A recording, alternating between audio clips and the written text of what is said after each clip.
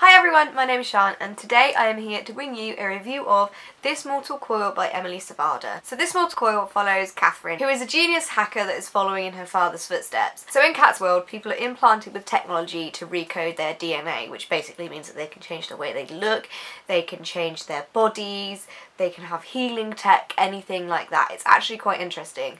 Um, but during this time, a plague breaks out, and her father is considered to be the only person that can help stop the plague happening.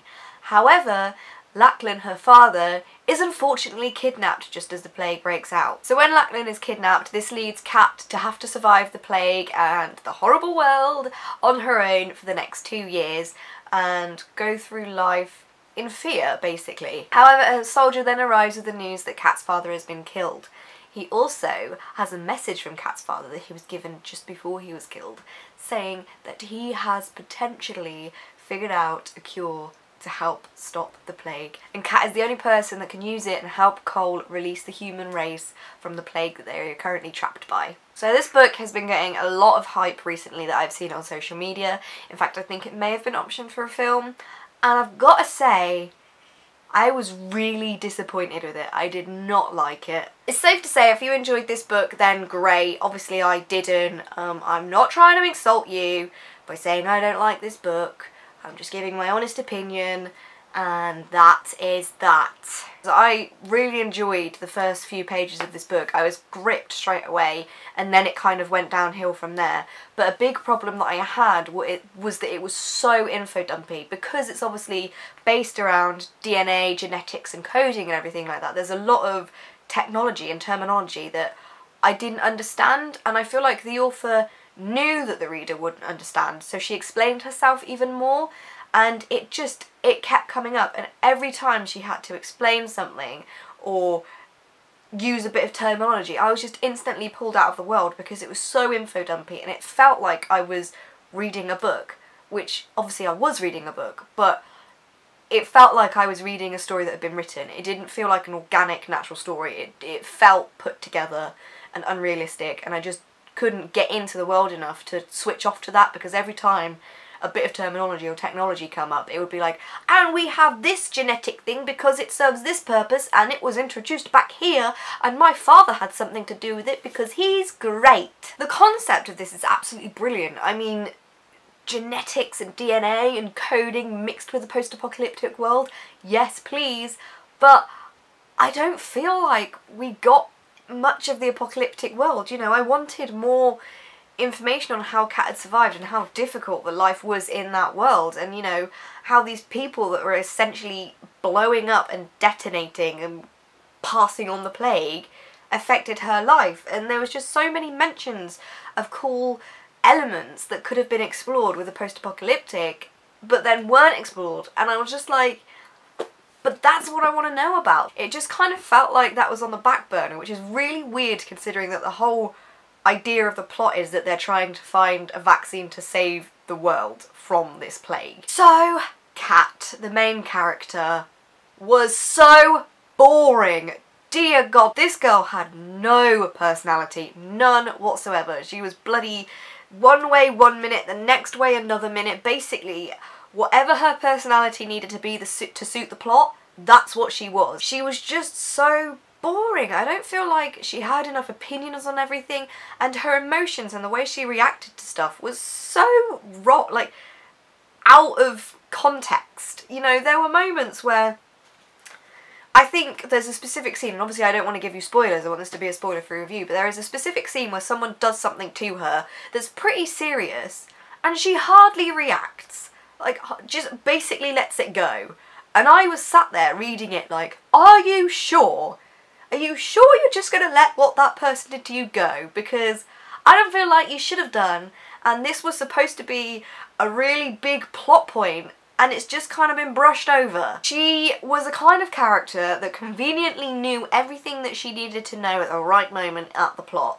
If something needed to happen, don't worry, Cat knows. Cat can figure this out, Cat can figure that out, and it just, it led to me feeling like there was absolutely no conflict because I thought, well, okay, this is going to potentially be a conflict, but don't worry, Cat will fix it. It's like, she's like Bob the Builder. Cat will fix it. She's been in the wild on her own, trying to survive an apocalyptic world for two years. You'd think she'd be a little bit more angry and pissed off at the world, but she wasn't. She wanted to save everybody. And to me, that's just not realistic. That's not what you'd expect from a character that's supposedly been through all the shit that she's been through and had to survive on the harsh outside. But it's okay because she's happy and she wants to save everyone. Isn't that what every character's like? It wasn't just Cat that had no personality. I feel like all of the characters in this book needed way more development than they got. They were such shallow, one-dimensional characters, and it, it was weird because there's what, you know, a couple of them have quite interesting backstories, but they as characters weren't interesting. So I just didn't care enough about their backstories, even though they could have potentially been interesting. I didn't care. So the plot twist, which obviously I'm not going to tell you about, I guessed pretty early on. Um, it didn't surprise me. But the plot twist was glossed over by the characters completely. I feel like none of them reacted to it in a way that they should do, which was a big problem that I had with all of the characters, was just their reactions to stuff. They had none. They just had no reactions, and if they did, it was the complete wrong reaction for the situation that they were in. I felt like a lot of the stuff that needed to happen conveniently happened. Characters' choices weren't really their own choices, they didn't feel organic. They felt like they were there to push the plot along, and it just really didn't didn't sit well with me. I just didn't enjoy it. Um, I found myself rolling my eyes a lot at a lot of the stuff they said. Um, the romance I really did not like. It was very boring. Um, it felt really cheesy and it was really, really insta-love.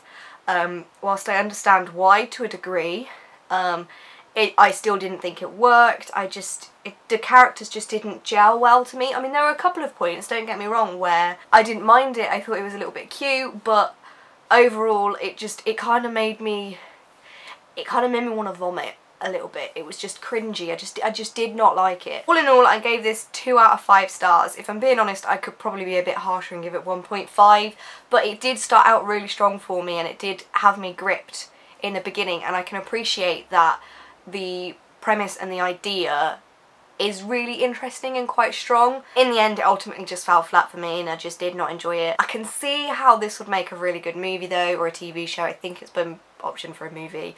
I can see it making a really good movie and I would watch the movie because I think this would be one of those rare cases where the movie would probably be better than the book. Like, the 100 TV show is way better than the book.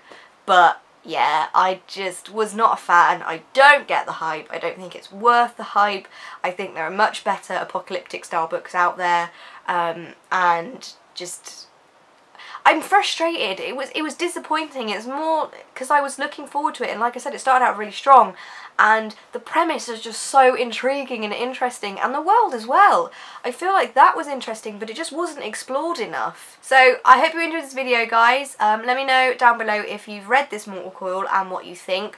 I know a lot of people enjoy it, so I'm not quite sure how this review will go down, because obviously mine is pretty much a polar opposite opinion to everybody else's that I've seen. So yeah, I'd love to know what you think of the book if you've read it, if you plan on reading it, blah blah blah. And that's it. I hope you enjoyed this video and I will see you in my next one. Bye!